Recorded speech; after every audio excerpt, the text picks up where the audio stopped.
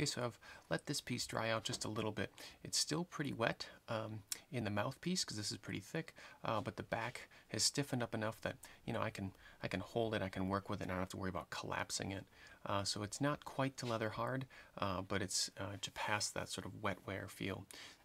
This is about perfect um, for opening up um, the airway, which will come in to the front of the uh, ocarina and we'll use um, our Fipple sticks in order to get in there and also opening up the window. Uh, this stuff uh, is deceptively complicated um, so what we'll do is uh, kind of walk through it a little bit more slowly uh, the first time and we'll start with this window. Essentially the window is um, uh, it's going to come straight back from the opening. It should be in alignment.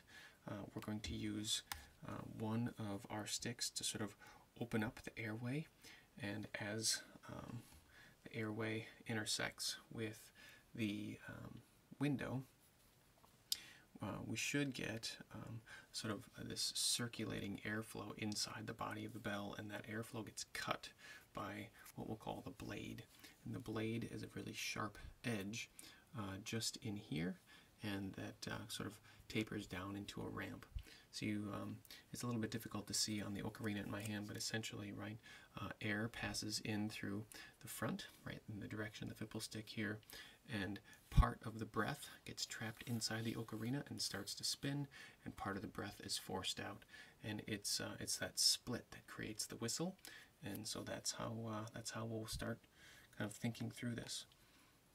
Essentially, uh, we're going to cut straight down into the top of our ocarina here, uh, and hopefully find the back wall of the um, of that sort of chamber. Uh, if I can sort of find it easily on my first try, I don't have to do too much repairing, and then I will feed um, the sort of opening in. Uh, it is sort of worth probably thinking about since you guys have been in ceramics class long enough, right, that eventually these will start to become something, right? So I don't know, I just sort of was like holding this thing in my hand and I was imagining it having some you know, little legs and sort of creaturely and what the mouthpiece might actually be shaped into. If you want to start to think about, you know, ideas and sketch some stuff out, um, I think that could be really cool. Uh, it's not necessary, but I'm already thinking about, you know, how I want to remove some of this mouthpiece material and, you know, have some legs in mind here. So uh, kind of keep that in the back of your head as you're working. Now I'm going to start with the skinniest Fipple stick and just do some markings on my ocarina here where I'm going to mark where I'm pretty sure that window is going to be located. I just put a little uh, divot in the um, in the ocarina here. Everything that I'm doing now is repairable because it might be wrong, right? And I'll kind of check to see if I think that's vertically aligned right. I think that's about right. And I'm going to start with a plunge sort of straight down into uh, the neck. And hopefully I don't hit uh, just sort of solid block of clay here, but I sort of hit an air chamber and I'm pretty much there. Now the reason I started with my small stick here is if I goof, um, I, I, didn't just make a giant gaping hole in my piece, but now that I'm pretty sure I'm in the correct spot, I'll start to open up that opening uh, a little bit wider and a little bit wider using my larger uh, Fipple sticks.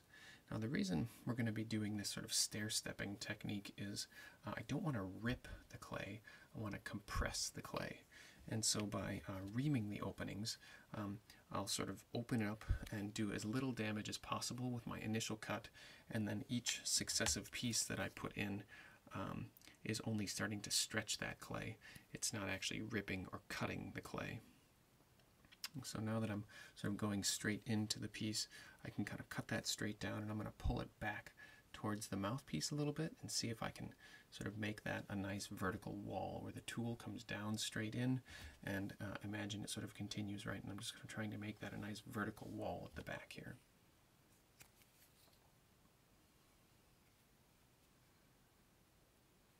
Okay, good enough for now and I'm sort of looking down into that hole now and I can tell that I'm pretty much at the opening.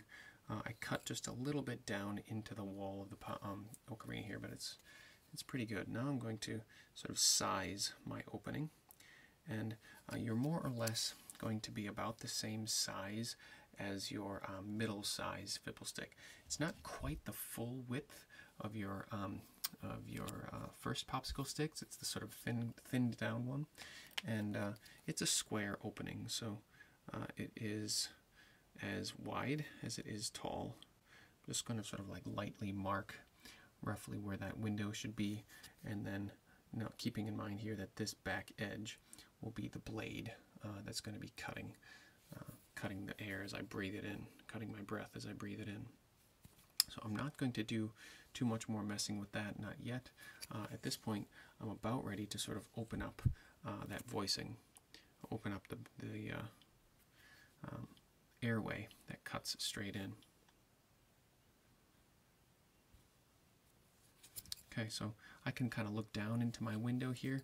I know it's not quite open large enough, but I can see where my voicing is going to come in, where my airway is going to come in, and because I already have a feeling I'm going to cut this mouthpiece down a little bit, I might actually come in and just remove that clay uh, early. You could remove that with, um, you know, whatever tool you happen to have around. I reached for an X-Acto blade, so I'll use that here. And I might use that clay for some legs later, so I'll keep that wrapped up in plastic. It's always a good idea to start with too much clay, and then I can always kind of work those, work that back. So now I'm going to do some aligning. I want my window to be perfectly in alignment with the airway. So I'm going to kind of mark on the top here where that uh, airway should pierce in.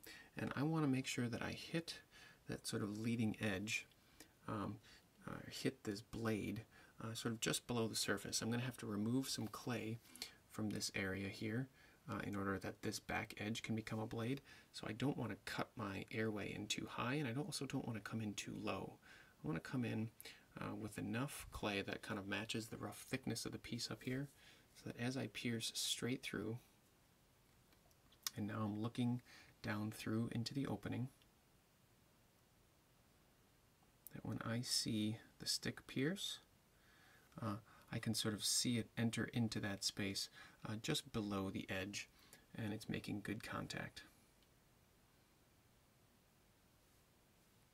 So it's actually in the clay. So now I know that I'm right in, uh, so now I can start to stretch that opening just a little bit.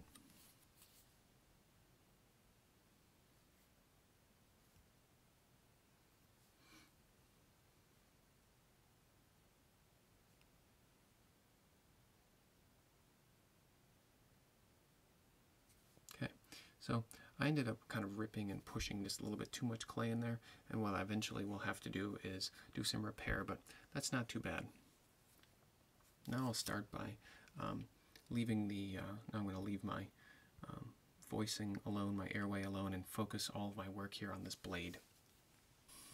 Now I need to cut a ramp uh, that sort of um, doesn't make the, the window any bigger than it actually is here, but I'm going to cut a ramp down with the sharpest blade tool that I have, this could be something that you made, or it could be something like um, I happen to have an X-Acto blade here, a sharp razor blade, and I'm going to carefully remove a little bit of that clay so that I start to shape the ramp.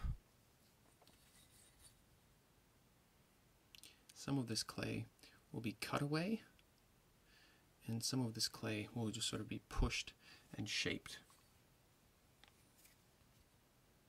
I'm paying really close attention to the thickness of this piece now and also paying really close attention to where my airway comes in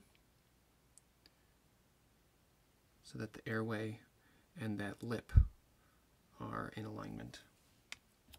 What I think I'll do at this point is push one of my airway sticks in as far as I can to establish the, the right width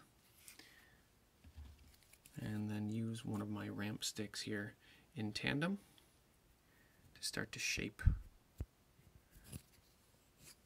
that lip.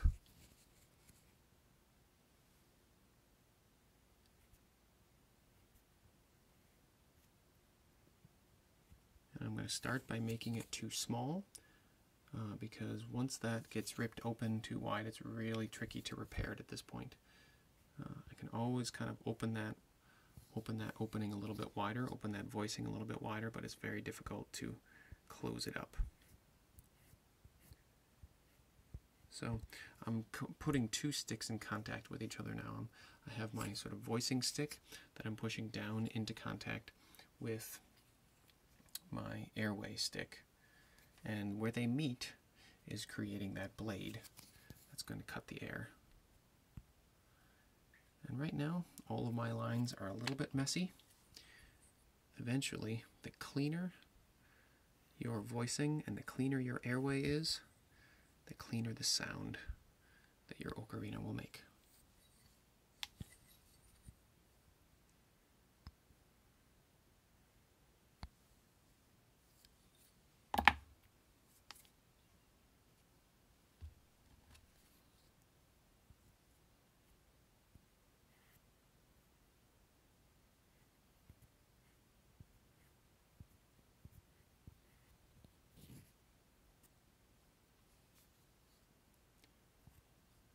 anywhere that I can compress the clay flatten it out and smooth it in there, that's a good thing. Now, as I carefully remove my airway stick, there's a good chance that I'm going to leave a whole bunch of schnipples in that airway that will clog it all up. So I'm not going to blow and sort of waste my time trying to get my ocarina to sing it until I get all of that uh, clay out of the airway. Anything that sort of creates turbulence where the air can't sort of cut nice and smoothly uh, is just going to make your ocarina sound airy and and it will not sing.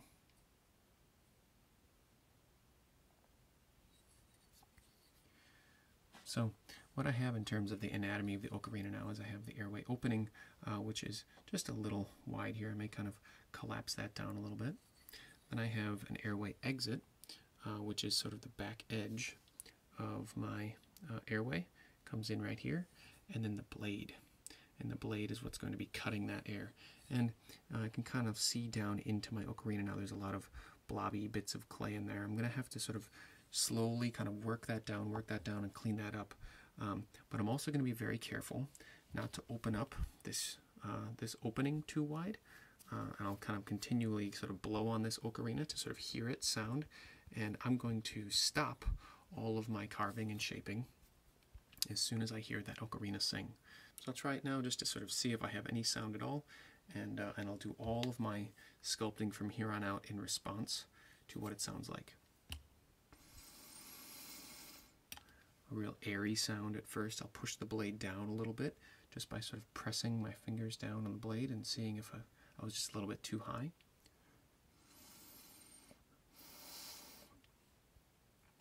So a couple things, right? Um, my airway is probably too messy and my blade is probably not sharp enough. So I'm going to continue sculpting inside the airway and cleaning this all up. And I'm going to have to carefully manage my dry times. Um, my dry times, I want to keep this clay right at about leather hard stage as I'm working on the airway. As I blow into the airway, um, I'm going to be adding moisture from my lungs, my mouth, and my breath. Uh, that's going to hydrate the clay and get, make it real gummy inside of here. So uh, it's handy to have uh, a blow dryer around or a fan, something that you can sort of continually dry the inside of your ocarina voicing. Uh, the more that you can um, sort of keep that dry, the better. Uh, but you're going to have to be constantly blowing in it to get it to sing. So um, the, uh, the sort of game is keep it uh, keep it right at that perfect amount of dryness.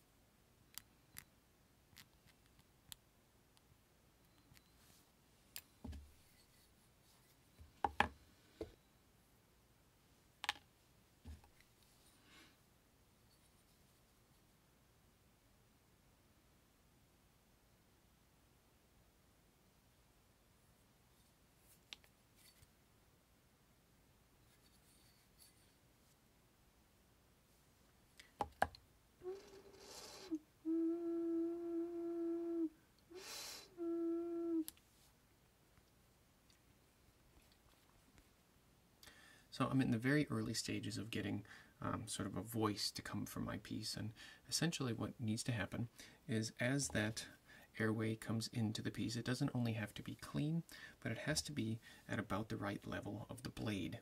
Uh, your airway and the blade uh, should be um, sort of positioned at about a halfway point where the blade is aligned at about the halfway point with um, the voicing. Now you may not, or with the um, airway, you may not be able to see what's going on there, but you should be able to hear it.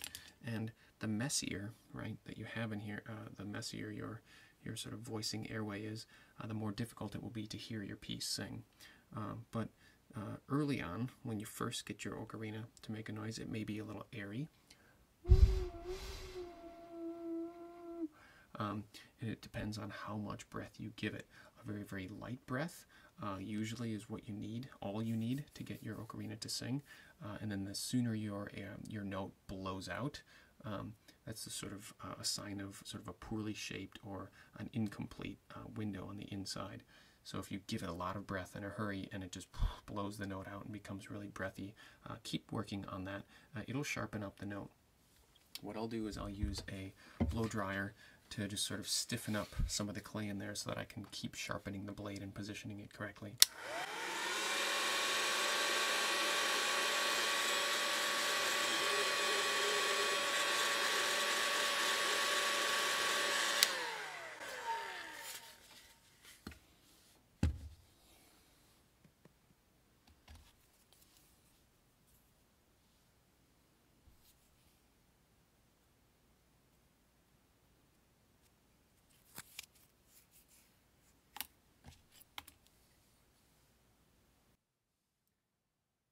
So continue to work your voicing and uh, make sure that you're using your small fipple stick occasionally, right, to go inside to the uh, voicing and just remove any uh, sort of bits of clay or chunks that might be disrupting the airflow on the inside.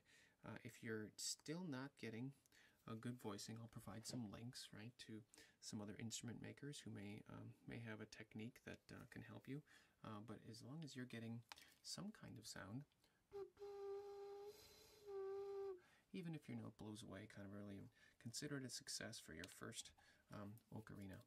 And uh, one of the other techniques, right, that I'm going to kind of keep continuing to do is don't allow your um, sort of uh, airway to get too large. Keep it clean. Keep all the chunks. Kind of keep looking down into that space. And if you see any chunks, uh, insert one of your sticks and continue to compress it. Uh, your sticks will be used sort of in two basic ways. Uh, one of them would be cutting uh, and chiseling, and the other one would be kind of compressing. And uh, think of um, compressing a little bit more like um, sort of like spreading butter on toast, right? I'm not ripping clay out so much as I'm just pushing clay that's already in there down, and I'm sort of flattening it uh, in order to kind of keep it from disrupting airflow, to keep those lines as clean as possible. And uh, you should have a window that's based on probably your medium-sized to large-sized uh, stick. And the other thing would be to continue to sort of shape and sharpen that uh, that lip, that uh, sharp edge on the inside that should um, uh, should be splitting the air. Because it needs to cut the air, it needs to be pretty sharp. And so sharp and strong. Keep compressing that. If it gets a little soggy because you've been blowing on it and playing notes, uh, go ahead and um, sort of flatten that out again. Maybe give it a little blow air draw, uh, give it a little time, give it a little blow dryer to uh, to dry that out.